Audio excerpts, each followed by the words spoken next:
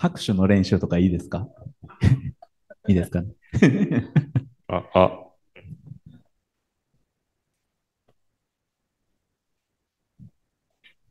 一応ね、なんかライブなんでね、盛り上がってる感大事なんでね。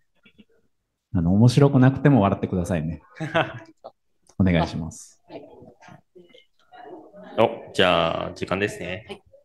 はい。はい始めましょはい。はい。ではでは、えー今回の今からのセッションはですね、えーゲーム業界経験者によるパネルディスカッションとなっております。よろしくお願いいたします。お願いします。お願いします。もうすでにね、ここの登壇者のうち3人がすでに登壇している、あ、全員、全員登壇してます。別トラックと お姿しておりますが、よろしくお願いいたします。はいえー、まあまあ、まず早速ですが、自己紹介ね、さっきからしてるんで、まあ、軽くなんですが、はい、ゲーム業界でえー20年目になっております。一番最初のセッションでね、もう今月末で辞めますという話してるんですが、はい、まあいろいろとですね、メンタリングコーチング等々しておりまして、7月から別の会社行きます。はい、よろしくお願いいたします。バチバチバチ。う。はい。えっ、と、ヘンリーで EM してます。田口です。えっ、と、今日ここに来る電車の中で赤ちゃんがバブーって言うたんでびっくりしました。あバブーってほんまに言うんやって思って。そんな面白体験がありました。よろしくお願いします。よろしくお願いします。あ、もう一個ですね。ありますね。大丈夫ですか？宣あ伝。そうだ、はい宣伝しとかな。これしに来ました。はい。あの、募集中でございます。はい。さっきやりましたね、これね。はい。はい。募集中でございます。あの、医療 DX 面白いですよ、結構。やっぱりね。はい。やっていきましょう。はい。よろしくお願いします。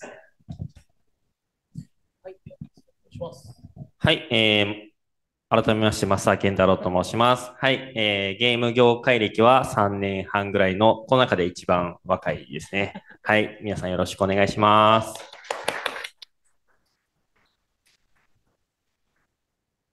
はい、えー菊池啓二と申します。えーゲーム一筋30年です。はい。今日はよろしくお願いします。ろしくお願いいたします。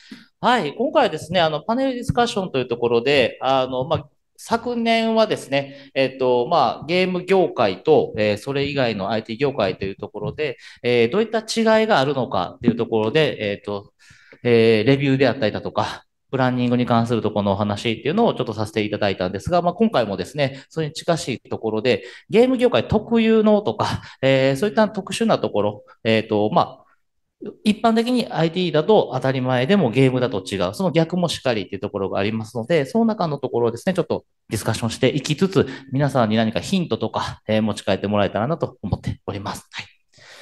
さあ、早速なんですが、あの、今あるテーマ見てもらえればなと思います。あの、オンラインの方はですね、あの、画面共有しておりませんが、スライドの URL 貼っておりますので、そこから見ていただければなと思いますし、えっ、と、まあ、このテーマ以外のお話もしたいかなと思いますので、ディスコード側にですね、これについて話してほしいみたいなものを投げていただければ、拾うかもしれません。はい。拾えるかどうかはわからないです。そんな、はい。そんなアドリブ聞くんですか？大丈夫いや、難しいと思いますよ。はい。出していただけたら、はい。気づけたら取っていきましょう。はい。はい。では、早速なんですが、まあ、やはりこの、大人数チームでの開発の特徴ということで、ゲーム開発だとどうしてもあの、一チーム、小規模って言っても2、30人ぐらいから始まって、で、多くなると100、200、300とか、それで一つのプロダクト作っていくんですが、まあ、そこに関してですね、えー、ちょっといろいろとお話ししていければなと思っております。はい。うんなんか最大でね、僕聞いたやつで、プロジェクトの開発の人数800人っていうのは聞いたことあります。ああ、すごいですね。海外のタイトルですけどね。はいはい。800人どうすんの？何チームできるスクラムチーム？そうですよね。10、20、それどころじゃ済まないですからね、数で言うとで。もね、やっぱりコンシューマー系のね、PS5 とかの開発って結構はい人数かかるんでね。はい、どうしてもリアルなゲームが増えてきたので、物量っていうところで言うと、3D の CG アーティスト等々だけじゃなく、うんオープンゲームも増えているので、かなりね、人数増えてますよね。昔はね、割と少人数でやるのは、少人数で作ったぞっていう自慢をしてましうた。ん。あの、僕作ったメタルスラッグってタイトルは、ほんまに人数少ないんで、あの、最後のスタッフロールが人数少ないんですぐ終わっちゃうんで、めっちゃゆっくり流れてます。めっちゃゆっくり流さない足りへん、尺足りへん。今なんかもうぎゅうぎゅうにして、いかにほんと小さっていうやつでこう流れるね、今の時代ですね、ちょっと作り方が。はい。なんかやって、なんかあります？大人数で開発してるの。そう、お二人はね、やってるところが家庭用ゲーム機って言って、あの、コンシューマーって言われるものと、えーモバイルっていうところで、スマートフォン等々のところですが、大規模っていうとどうでしょうか？うち300人ぐらいかな。多いな。多いですよね。僕が見てるのは30人程度って感じです。はいはい。それとも程度っていうかすごい人数ですね。ね全然程度感がない。大仕人数ですけど事絡むのは100人ぐらい。ですよね。なりますよね、ゲーム開発ね。まあそれで言うと僕が今関わってるタイトルはモバイルゲームのタイトルなんですけど、まあうん、日本対、日本版だけで200人とかで、多分海外も含めたら300人、合わせたら300人ぐらいで、大体開発に、いわゆる機能開発に関わってる方と、いわゆる、まあ、あの、運用ですね。まあ、あの、関わってる方がいらっしゃって、機能開発に関わってるメンバーは70人とか8人ぐらい。うんなんで、まあ、そんな感じで、今はレスのスクラムをやってるって感じですね。はい。まあ、なんで、70人くらいって感じですかね。うん7、80人。結構最近そのね、先ほど触れた中で言うと、ゲーム開発人数多いよねってあったけども、人数というか、職能に関するところのお話とか、うん。ね、IT のところと、まあ、どういったような職性の方々がいるのかとか、ご説明誰おるの？まあ、キクリンさんとことかはね、多分 3D タイトルだから、かなり人数多そうですよね。職の、職の？職の、あのいわゆるはい。モデラーとか、ああ、そうそう。そうどういう職がいるか。うん。ね、人数が多いっていう理由がね、やはり専門分野で分かれているっていうところもあると思ってて、デザイナー系がやっぱり多い。ですね、アーティスト、デザイナーですね。あの、背景のモデル作る人とかはもう何十人、それこそ100人規模うんって感じですかね。ね、キャラクター作る人もいますし、あとは VFX とか、はいはいはい。エフェクト専門とかの小物類だけを作る人とかね、ひたすら壺作るみたいな。はいはい、うんありますね。ねうん 特にあの海外の800とかはまさにそうですよね。うん物量があるので、ひたすら自然にある木とか、うんそういったものを作っている、動くことも踏まえてやる方と、今いるかわかんないけど、あの、レンガ職人みたいな。あーレンガだけ作る。はいはいはい。レンガを積むお仕事。はいはいなんでレンガを積んでるんだろうみたいな、アジャイルな話になっていくのかな？レンガ作ってる人は昔いました。まあでも、いますよね。家とかがね、すごい、うん今だとリアルなものとかあるんで。ひたすらそのテクスチャを撮影し続ける人がいたりだとかね、うん。カメラ機材本当にーなんかずっとロケ行ってる人おるな。ロケハン行ってる人ね。断ることにでっかいカメラとパソコンを担いで、ハードディスクも持っていくっていうね。なんか朝日と夕日で全然違うっつって、あ あ、ります。そうやね。両方取ってくるんですよ。両方取るテクして。他ね、プログラマーもそうですよね。プログラマーも、やはりこのアジャイルの中でで言うとですね、やはりいろいろと助け合ってやっていける分野のところと、どうしても職の専門性が強すぎて、うんあの、そこを、他、他の人ができないっていう状況が結構きますよね。プログラマーで言うと、なんだろう。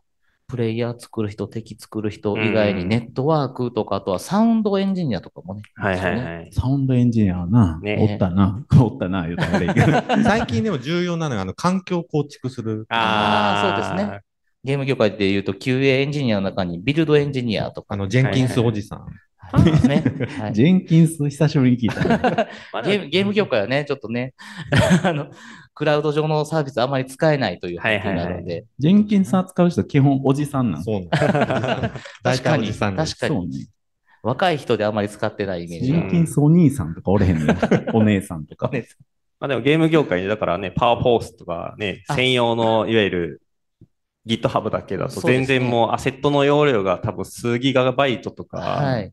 10, 10とか 100, 100とかも普通にいきますもんね。行く行く。なんで、、ラージって言われてもっていうところで、うん1ファイル自体がムービーデータ入ってきたりだとかすると、とんでもないですし、アセットデータだけでも起きてて、うんさあ、ここら辺そんな盛り上がりそうにないから次行きましょうか。次はい。いや、なんかでもそれ、アジャイルでやってるかどうかみたいな話してええんちゃう。ね、大事大人数で、うんチームで。キコリンとこどうしてんの？このとこは、力技ですか、ね。力技力技持ち帰アジられへん。ャイルとかの話で、ね、力技。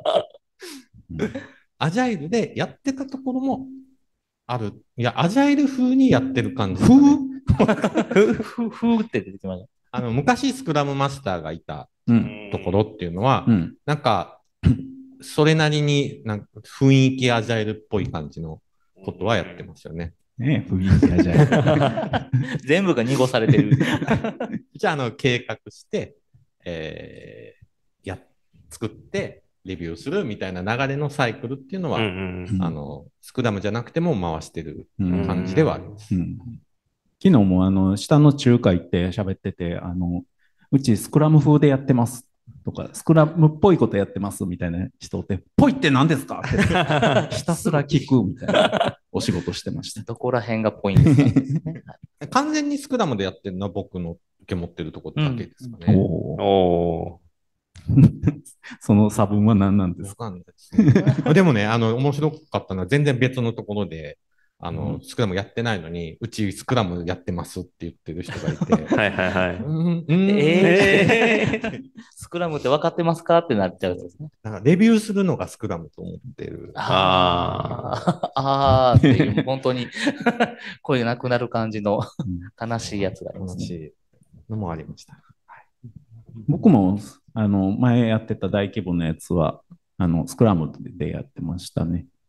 あの前にセデックで講演しましたけど、あの4チームぐらいスクラム開発で回すっていうのをやってましたね。ただ、そのスクラムが合う合うとこと合わないとこがあるので、例えばさっき出たようなアーティストさんのお仕事、ああいうのは、それこそレンレンが作りますみたいなのはスクラムではやらなかったり、はい。ウォーターフォールの方がもう看板看板でやってましたね。ね。うん。来たものをひたすらこなしていって、そこに積まれていって、うんで、溢れてきたら人を出すっていうね。その作り方です。なんでまあ大規模になると、ね、その作るものとかに応じてそういうプロセス変えていくっていうのは結構大事かなという感じはしますね。それとこの大人数で、で、の経験の中で、レビューの最大人数ってどれぐらいです？レビュー、レビューした時の。えースプリントレビューで最大は、僕のとこは100人うんうんうんぐらいですプリントレビュー100人えぐい。まあでもうちもね、2週間ごとやってますけど、100人弱ぐらい来てますね。うん。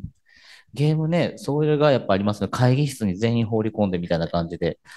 で、まあ、テレビの前で体操座りしながらとかの形で。で、その中でレビューしながらっていうのは。レビュー、リアル、リアルでも100人だったことがあはいって、はいはい。今オンラインでも100人。やっぱり集まるんですね。で、ズーム使えなくなって、はい Teams で今やってて、チームズ100人大丈夫かな？心配あったんですけど、大丈夫でした。よかった。よかった。安定しましたね。安定あ何の人数が100人ってあの質問来てますね。ああ、レビュー会に、うんを視聴してる人数ですかね。まあ、レビュー会の、まあ、ズームとか、ミートに入っミートとか、チームズに入ってくださってる人数が多分100人って感じですよね。まあ、通りすがりの人やね。通りすがりですもんね。はい。ちょっと見に来た人。うんそうそううちのレビューは、あの、フラット入って、フラット抜けて OK な。う。うんん。一言言って逃げるみたいなのも全然。一言何言うの？何言うの？一言。嫌やな、怖いな。キモとか。怖い怖い。怖い怖い。そして去っていくんでしょう。じゃあ怖いよ。怖い怖い。ブスリやと声かけれるけど、あの、ズームとかチームとかいなくなるって。うん。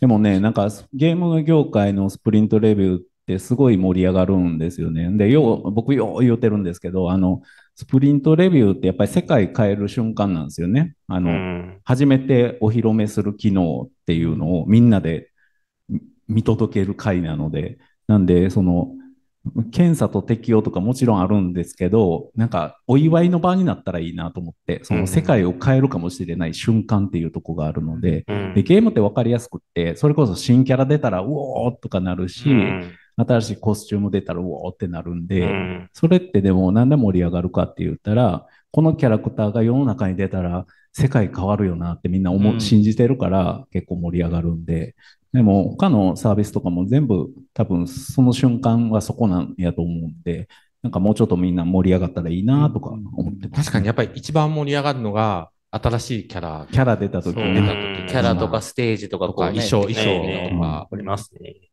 うちだとワールドでキャラクター変わるんうんうんはいはいはい確かに。ね。それが初めて出た時はやっぱりすごい。うん全員でおーってなるんですよね、見ながらこう声出しちゃう。あと、可愛い敵キャラとかが出る。あーめっちゃ盛り上がります たまになんか、せっかく作ったのに、この敵何に使うのみたいなのあるよね。この動きいつ使うのみたいなやつおるよね。はい。こんな感じで。こんなん面白い？大丈夫？はい。よかったよかった。優しい、優しいな、こう。初めての人も多いのに心理的安全性高い場合、あり、ありがたいですね。はい書いてますね。あの、ね、関心がある人多いってこと、また、うんまさにそうですよね。実際やるときも、フロア内でやってるときも、チームでやってたら、他のチームの人たちが寄ってきて、見てどうなってんのかなっていうのが、それでワクワクするし、うんね、フロア内で他のチームがやってたら寄ってっちゃいますよね。う。うんんうん。言ってく。やっぱゲームってね、やっぱり自分で遊ぶじゃないですか、結局、うんみたいな。そこは多分普通の、普通って言ったら他の B2B とかのプロダクトに比べれば、多分まあ、関心持ちやすいのかな、みたいな思ったりはしますね。そうやね。だからそこがあかんと思ってて、うん 2B になると、やっぱり途端にそこ興味なくなるっていうのが、やっぱりダメやなと思ってて、うんななんか、世界を変えるの第一歩のお披露目の場ですよってしたら、多分うん。2B も 2C も一緒やんか。ん。まあそういうふうに捉えて運営していった方がいいんちゃうかなと思ってますね。うん。ね、ゲームね、作ってる開発者がエンドユーザーだっていうところでかなりね、うん。打ち出しも多いので、うんフィードバックめちゃくちゃ熱いですよね。うってなることもいっぱい出てくるし、無責任にね。うん でもその人にとっては面白くないって思ってることをはっきり言うし、なんなんこの操作っていうこととか、すぐ言われますね。おじゃあ、いい流れで、はい。次のいけそうじゃないですか？はい。じゃあ次は、やつ行きましょうか。はい。どこ行きます？で、プロダクト愛の話しますか？プロダクト愛の話、去年せんかったっけ？い やしてますね今の流れだと結構やりやすいな。あ愛、愛が、愛ゆえに。はい。愛ゆえに、じゃあちょっとサクッとね、初めてプ。ロダクト愛駆動したらあかんと思うで。愛に頼りすみんな、ぎてて、みんなちょっとね。自分の作ってるプロダクト愛してますか？そこに愛はあるんか？それ言いたかったそれ言いたいって言うとったもんそうね。うんはいちはいゃんと、ちゃんとね、場をセッティングできてよかったです。そうそううん結構だからゲーム業界って、まあ去年と一緒なんですけど、あの愛強いんですよ、プロダクト。よくしようがすごい強いんで。なんで、まあ、ある、いい、いい面はすごいあって、なんか、まあ、ほっといても、こう、どんどん勝手に作っていったりとか盛り上がって、常にプロダクトのこと考えてるみたいな。振り返りやっても、プロダクトの話ずっとやってたりするんで、そうですね。うんはい 振り返りプロ。セプロセスに逆に興味なさすぎるっていう。そうそう。気をつけなきゃいけないのが、いつの間にかプロダクトの話に 振り返りの場がなってるっていうのいや、が一番。いい、うんいいと思うよ。あの、でも、あの、プロダクト、結局、プロダクトをよくしようから、プロセスの話とか出てくるんやと思うんで、うんなんか逆に、その、本当にプロセスの話ばっかりするチームって実は良くないなとは思ってううんん。確かプロダクトのこともっと話せって話ですよね。うん。さあ、どうでしょうか。あ？なんかある？お。ゲームの面白さの品質担保とか、うんうんお、それいきますそうか。誰喋れんの？でもね、品質といえば森田さんですか？ああ、らね。そうですね。品質、品質のそうですよ話ね。ちょっとここもね、先ほどね、愛駆動あかんって言ってたけど、やはり愛があるのも強いんですけど、結構そうですね、もう本当にね、企画書通り作って面白かった試しないっていうのはまさにそこがあって、じゃあそれどうやっていくのかってなってくると、その統合したときに、あの、ようやく面白さ、感覚がつかめるってことができてくるので、例えばモデルはすごい品質高いです。キャラクターも品質高いです。遊び方大丈夫ですってなっても合わせた瞬間にこう視認性が悪いとか、画面が暗すぎてキャラクター追えないからこんなもん使えないってなると、キャラクター変えんのか、ライティング変えんのかとか、まあそこっていうのは、やはり、各々がこのゲーム好きだから、えっ、と、最近のゲームってこうだよね、みたいなのを皆さんがこの自分たちの好きなジャンルのところから話し合っていって変わっていくかなと思ってます。で、あと強いのは、自分自身もそうですし、多分ゲームのプログラマーとしてやってきた方からすると、あの、企画書通り作ったことあります？見ない。うん使用書見ないの。はい。でしょ？使用書って来たものがそのまま残ることい今までほぼなくてですし、とりあえずニュアンスとか何したいのか聞いて作って、かつそこって自分が面白い形まで作って出してますよね。なんか前にもらった使用書で一回すごかったのが、あの、いつも通りでお願いしますって書いてあった。使用書でも何でもない。俺 それしかもそれで分かった言うてこ組んどったからな、俺ただのお願いだけがあって、こう、丸投げというお願いが。使用じゃなかったいい感じにお願いしまあ、そうそう、いい感じにね。そうね。そう、だからそこで品質があると思ってて、自身はその品質の中でで言うと、製品としての品質、バグとかと、商品の品質と、えっと、ゲームの品質、ここがあの、測りづらいところ、人によって違う面白さっていうところとか、手触りだとか、うん。その格ゲーでね、めくれるどうのこうのとか、うん1フレーム単位のみたいな、そういったところは、あの、商品としては立ってるんですけど、他との差別化の中でのゲームの品質うんの。ところがあるかなとはうん、思ってます。結構だからゲーム開発ってアジャイル開発合うなって思ってたんが、やっぱりこう触ってみないとわからないとか、うん作ってみないとわからないものしかないんですよね、ほとんどのものが。なんで、すごいこう、あの、作っては触って違うとか、もっとこうみたいな、あの、抽象的な感情でひたすら喋り続けるんですけど、そんな話をしながらやるんで、なんかアジャイル開発とすごい合うなっていう感じはありますね。すごい試して変えて試し変えてずっと繰り返しやってますもんね。マスダンとかやったっけ？触れるレビュー会やってるんで触れる、触れる、うーん、触、でも一応、あれですね、あの、いわゆるこのバイナリーでお願いしますみたいな毎回送ってますね。なんで、できる、できる限り手元のスマートフォンにダウンロードお願いしますみたいなやってたりとか、まあ、スプリントレビューだけじゃなくて、やっぱり、あの、一定特定の機能できたら、一通り完成したら、みたいなやっぱりあるんで、まあ、それにじゃあ触ってみましょうかみたいなのは別にやったりはしてますね。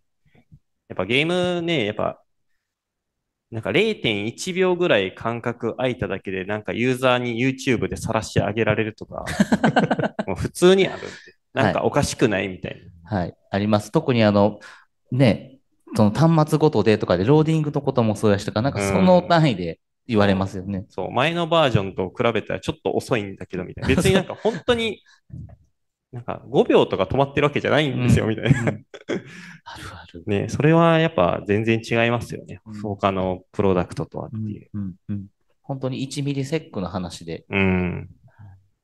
うん。あでもなんかゲーム業界から学んだんて、すごくあの、神、神は細部に宿るみたいな、うんそのうん、本当に、うん。そ、そ、それぐらいいいやんみたいなとことか、すごいこだわって細かいとこも丁寧に作り上げるんで、うんだからあ、あれはすごいゲームならではというか、ゲーム業界の人たちのこだわりがすごい詰まってるし、うん。その細かいとこを、に取り組んでることが、ちゃんとユーザーさんに伝わることも理解してやってるから、ううんだからそういうのすごい大事やなっていうのは思ったね。品質の担保で思い出した。あの、うん。今日僕、登壇で喋ったんですけど、あの、俗人性あるじゃないですか。はいはい。で、ゲームはある程度の俗人性が必要だっていう、はい。僕思うんですよ。それってやっぱり品質の一貫性とか、なんていうんですかね、その人の職人的なうん味、うん味が出るところって、やっぱり俗人性以外の何者でもないかなと思って、うんうんなので、やっぱり敵を作る人は敵を作る。うんうん。敵を作る人がプレイヤー作ったり敵作ったりとかすると、うん品質の一貫性がなくなるかなと。いろんな人あがあ。バラバラに作っていっちゃうと、なるほど、なるほど。ああ、なるほど。そっちなんですね。僕の文化で言うと、敵とプレイヤー一体なんですよ。同じ人がほぼほぼ作るんですよ。アクションゲーム多かった中でで言うと、何かやっぱり一緒でしたね。まあでもそうですよね。それを作る人が専属で、その人が別のステージ作るとかじゃないですもんね。UI 作るとか。う。うんん。うん UI 作る人がカメラ作ったりとかは。絶対ない話ですかうね。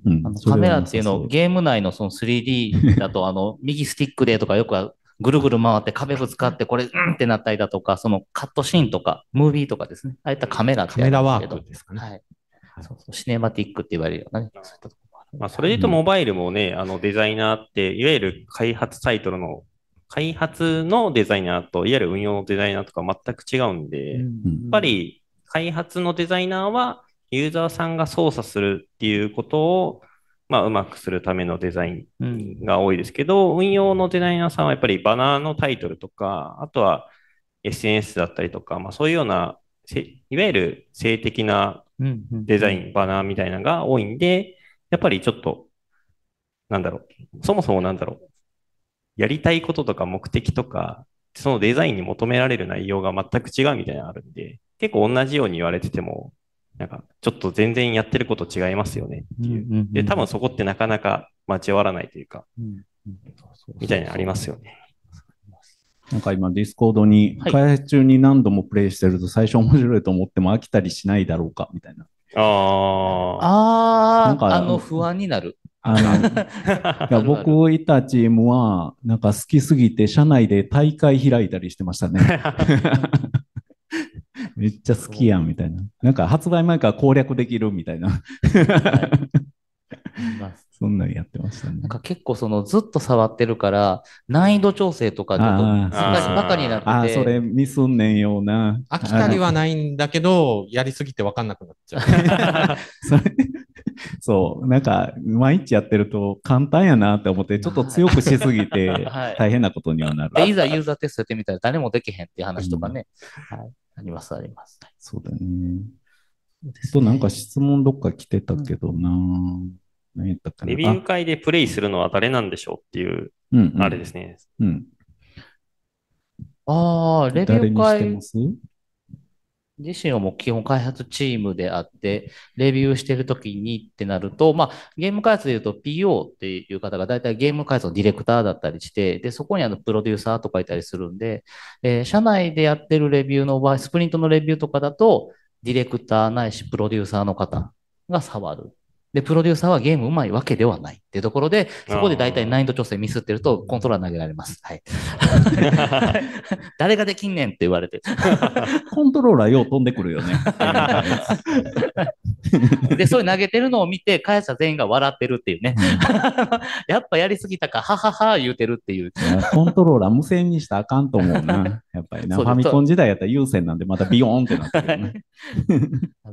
僕のところは、あの、ゲームデザイナーとエンジニアのチームなんで、うん。あの、最初はエンジニアがやることが多かったんですけど、うん。今は、あの、ゲームデザイナーの方に説明してもらう方がいいんじゃないかっていう流れで、あの、はいこ細かいところまで説明できるのは、あの、塩を出しているところ。塩を出してる方ができるんじゃないかっていうので、まあ、固定はしてないんですけど、うん。はい。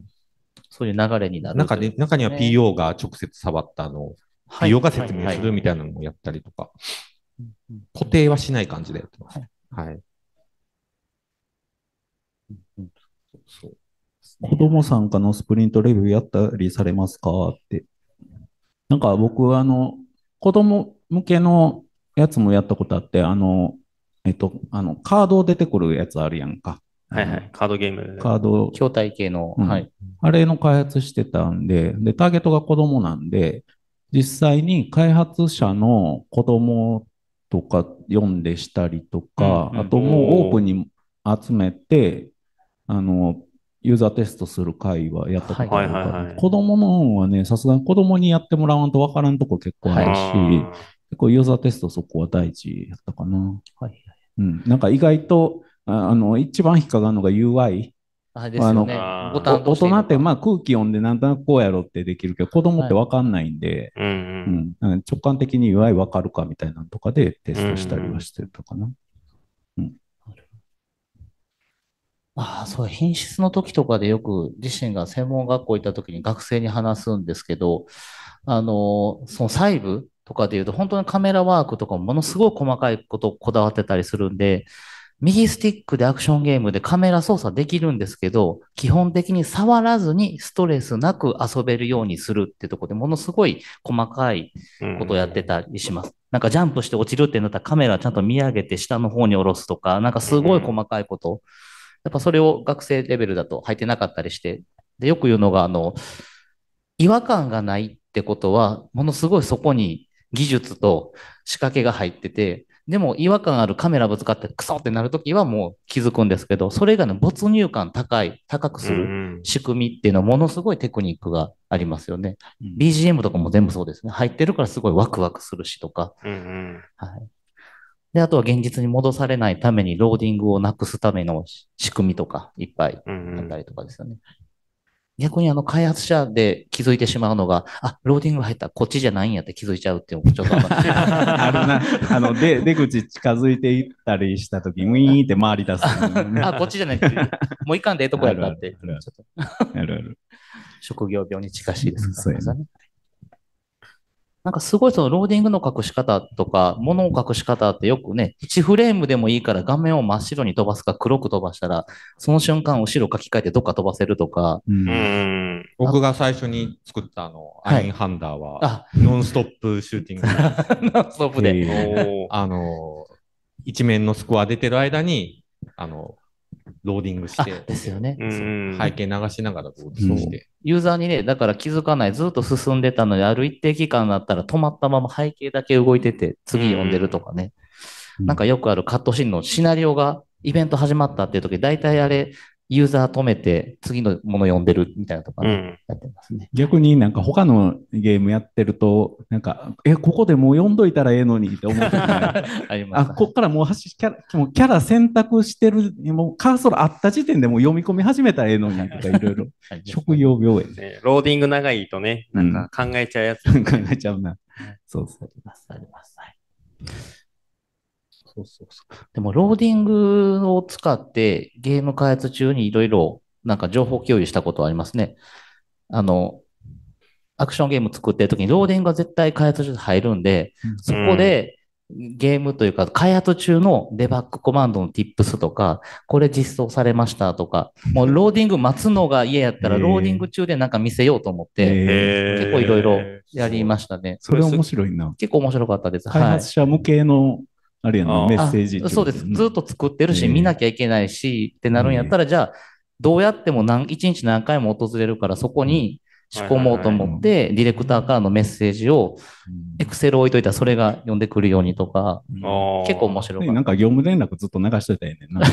あ、明日休みます。明日休むんやってわかる。そう実際あの、ユーザーが見る tips みたいなやつに開発者情報みたいなのを載そうってるはい。はいはいはい。で、それもないときはもうデバッグコマンド、もうで MS のフォントでってバーって書いてておいてたんですけど、でもそれやってたことでゲーム仕様に入ったものもあります。へローディング中でボタンを押したらそこでコマンドの確認できるって入ったのは、じゃあローディング中で何かできるよねみたいなはい話とか、はいはい。お、それすごいですね。それはなりましたね。はい。ローディング、。ローディングのやり方も結構特許地雷多いからな。はい。気をつけな。はいまあでも SSD なんであんまりね、あ、今な？はい。確かに。もう古いゲームお開発者おじさん。そうですね。ローディング中にゲームやるのも特許ありましたからね。うん。でももう切れてるから大丈夫ですよはい。そうです、そうです。ありました、ありましたまあ。でも、ローディング画面あんまりは、はやってなるから遊ばれへん。はい。もう今は。入れても。はいああ、それは、あれですかね。モバイルだとアセットダウンロードめちゃくちゃ長い時ああるん、で。確かに確かに。そう。多分皆さん多分最新の多分ね、あのセール、セールスランキング上位のやつ多分遊ぶと、最初のダウンロードだけで多分5ギガぐらい大体 ダウンロードされるんで、まあ、普通にね、30分ぐらいダウンロードするから、そうそうそうそうモバイル最初結構大変なんですよ。うん今そうですよね。それも分割でとかもいろんな仕組みが入ってくるから。そうなんですよ。で、アップルとかがね、あの30分以内にダウンロードすするようにしてくださいみたいな、来たりとかして、確かに。めちゃくちゃ大変なやつです、契約上はい確かに、こんなにローディングの話だけで話せるのやばいな。そうですやばいやばね。はい。本当にそういった細かいところから、いかにローディングと気づかせないかとかね。一番、割と苦情出るからな、はいローディング長いって。はい。すごい主観でもう苦情来るから。はいうんで、ここれ、あの、ハードディスクとか SSD になったって言っても、ゲームのメモリが増えてきたんで、うん メモリ増えたらロード時間増えて、結局早くならないっていうところにな入ります。全ただ然。今マルチの展開っていうのばっかりなんで、はいはい。あどっかの機種が容量多くても、うんどっかの機種は容量少ないとかはいはい。なかなか難しいんですよ。うん全然アジャイルの話がない。ないねうんゲームの話になっちゃねっめちゃくちゃゲームの話します、ね。大丈夫、大丈夫。大丈夫か？ゲーム大好きすぎて。でも、はい Discord ね、まあまあ盛り上がってますね。そうやな。みんなゲーム大好き。さあ、じゃあ、うん他のやつとかどうでしょうか？はい。何？何があります？ねもうアジャイルの話ないやんか。あ、バックログ？バッバックログとあ、バックログの作り方か、バックログね。クログの作り方な。ゲームの、ゲーム開発におけるバックログ。なんかある？ゲーム開発やからってある？なんか。僕今日話した中で、うん。3段階ぐらいに、うあの、ん。一つのものを作るのを解像度上げるように分けているっていう感じで、なんか、仮作成の、はいはいはい。えー今週は仮作成、来週、次の週は、えー修正調調う整、ん。修正のあの反映。で、最後に本作成みたいな感じの、うん。3つぐらいの段階に分けて解像度を上げて完成させるっていうことを。うん。うんそうやねんな。なんかゲームって、あの、まあ、他のプロダクトもそうやけど、結構、あの、作り込みが結構発生、多くはい発生するんで、うん。あの、ね、あの、絶対一発で完成することうんほとんどないんで、ないですね。うんはい。バックログどうどうしてたんやろ、あんな。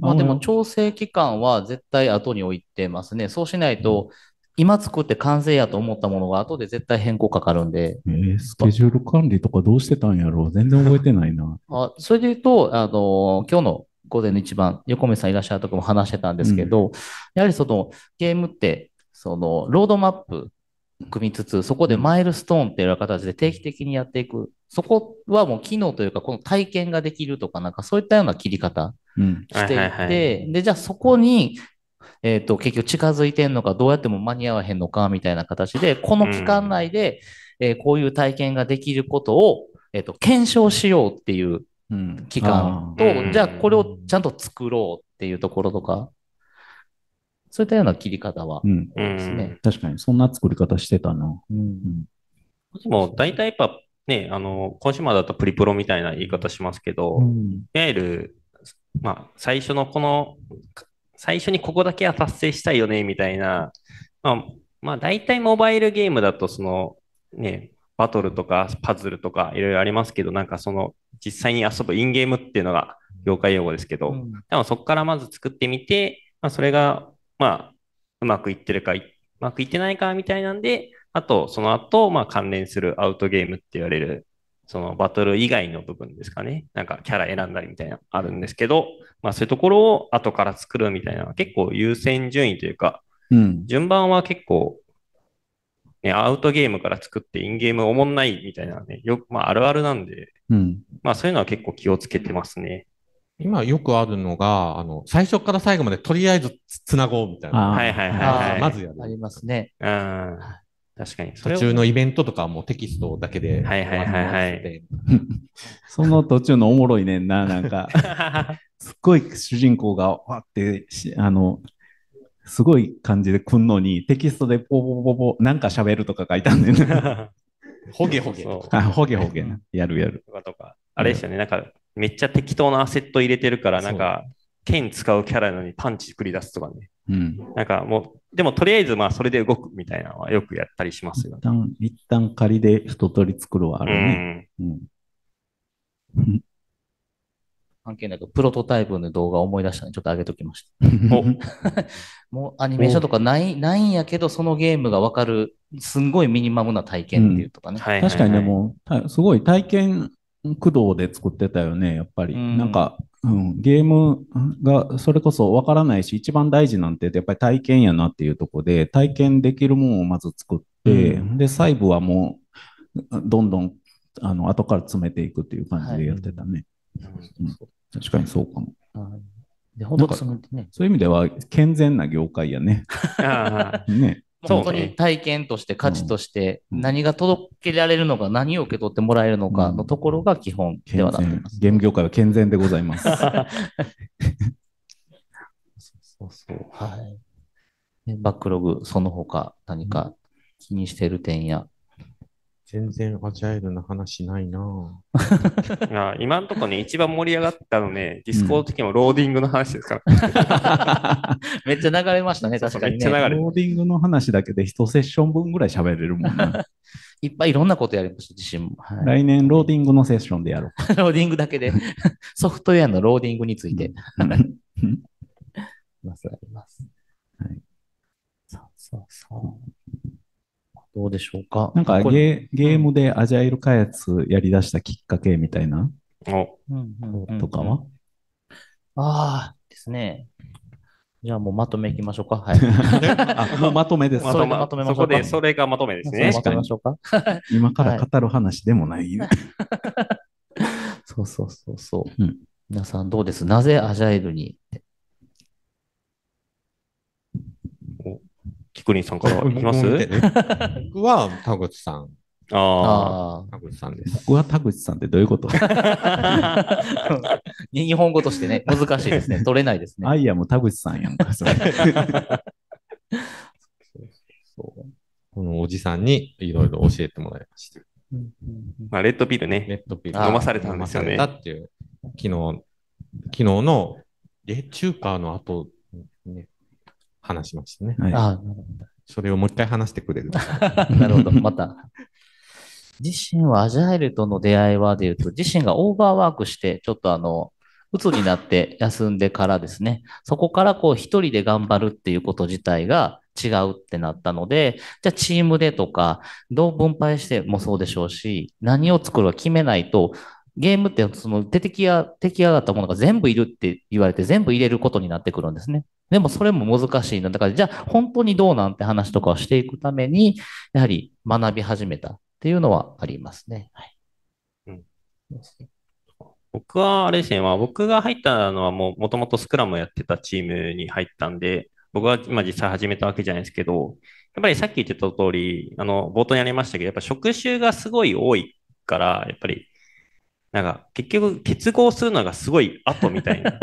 まあ、これ結構あるあるだと思うんですね、はいゲームで。さっはいきレンガ職人の話とかありましたけど、なんかレンガのアセット、なんか1個い、なんだろう、100メガとかうん、レンガに1個100メガ積んだらどうない、どうなんねんみたいな、そういうのとかって、結局、あれめちゃくちゃその画面だけ重いんだけど、みたいな。そう。物できてるのにポリゴン数がおかしいっていうね。うんねでやっぱりなんか、ちゃんと早期に、なんだろう、ゲームとして成り立たせる必要あるよね、みたいなのが、多分、まあ、そのチームでは、まあ、始めたきっかけみたいなのはありましたっていうところで、はい。田口さんお願いします。僕ね、僕始めた時って2003年とかやったんですけど、あ、そう、昨日の中華でも話したんで、あの、昨日の中華で話してたらごめんなさいなんですけど、あの、なんかね、あの、外注の人とが来てたんですけど、チームに。あの、あんまり喋りたくなくて、僕。あの、もともとね、あの、あの、もうザ・プログラマーでもう口聞きたくなくて、ひたすらコード書いてる人やったんで、あのコミュニコミュニケーション取りたないなと思って、でコミュニケーション取らないにはどうしたらいいだろう。そうだ、タスクを壁に貼ろうってなって、そこから壁に貼って、あの、見える化したんですけど、なんかそれが、あの、コミュニケーション取りたくないから始めたアジャイルのきっかけなんですけど、あの、そのプロジェクトがめちゃめちゃうまいこといきまして、あの、見える化進みすぎて、すごい順調に進んで、そっか、なるほど。まあ、コミュニケーションは取った方がいいよねって思いながら、変わったんですね、ちゃんと。対話するようになったんですね。いいいなって思ったんで、そこから始めましたね。僕でも田口さん来て、はい。田口さんと初めて会話したの1ヶ月後ぐらいで、うん。同じチームなのになん。か今思い出した。よほどやっぱ話がしたくなそかったね。れぐらい様子見られてたんだな。はい。じゃあね、パネルディスカッション、なんやかんや、本当ローディングの話からゲームの話ばっかりでしたけど、うんはい、ちょっとお時間来ましたので、はい。さあ、ではではね、またゲーム会社の方々には、飲みの席であれ、 Discord であれ、いろいろお声掛けいただければ、いろんな話、あの、この場で話できない話はね、皆さん多分大量に持ってるので、ちゃんとあの、その場だけで置いていただけるのであれば、いろんな話できますので、はい、お声掛けください。はい。さあ、ではではちょっと最後なんです。ちょっと宣伝させてください。はい。はい。はい、えーとですね。えっ、と、まあ、ここにいるメンバー、運営が3人と参加者でいうと、もうほぼほぼ運営に近しいぐらい参加されてるんですが、あの、スクラムド関西って、あの、関西で、えーコミュニティ活動しております。ちょっとね、2019年とかは、え、年間で49コンテンツぐらいとかやってたりはいし。て、最近はちょっとあれなんですけど、あの、今度、えっ、と、7月3日に、えっ、と、オープンジャム、えっ、と、第160回目のオープンジャムが、えっ、と、どこで実施されるんでしたっけ？はい。えー、333です。はい。はい。はい。会場提供いただい333て。の方いらっしゃるんで、はい。で、現在ね、ちょっとね、えっ、と、点20とかなってるんですが、あの、参加したいっていう方はもう、ぜひ登録いただければ、じゃあ、じゃあ増やすよみたいなことになるかもわかんないですし、お断りするかもわかりませんが、ぜひぜひちょっと熱量を合わせてはい参加いただければと思っております。はい。で、あの、現地だけじゃなくてですね、あの、オンラインとかでもたまにやったりしますし、もともとスクラム同関西は、あの、開発者に笑顔をということで、皆さんが現場で、まあ今だとね、こういったコミュニティやいろんなところがあるんで相談できると思うんですが、会社で相談できないけど聞いてほしいみたいなものを持ち込んでですね、話聞いて、えーそしてまた実践して、やっぱこうでしたみたいなことを繰り返すための場ですので、ぜひぜひ参加いただければと思います。であとはですね、はい、パーソナリティお二人に、はい。アジャイルラジオの宣伝。はい。アジャイルラジオ聞いてください。はい。お願いします。アジャイルの話全然してへん海外たくさんあります。あの ぜひともね、あの、アジャイルラジオちょっと出てみたいとかね、そういったような、そんなカジュアルにいけるんでしたっけ？ここね、パーソナリティお二人に、はい、ちょっとお話しいただければなと思います。はい、はいじゃあではでは、これでよろしいでしょうか、なんか言い残したことないですか？大丈夫ですか？面白面白かった？うなずいてくれて。優しい。ではでは、じゃあ、これで終わりたいと思います。ありがとうございました。ありがとうございましたありがとうございました。